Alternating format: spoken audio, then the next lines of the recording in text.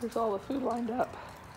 But they want to eat all together in the big pan. That's how I've been feeding them. And now I have it all lined up and they just can't figure out how to do it. Eating in their own pans. Funny puppies. Three of Penny's left, three of Lily's pet left, one of Luna's pet left. This chocolate boy right there will be the littlest. All of these are boys. The three biggest are Penny's. The three littlest are Lily's and Morty's. Look at the mess they're making. Rather fight over it than eat separate. Funny puppies.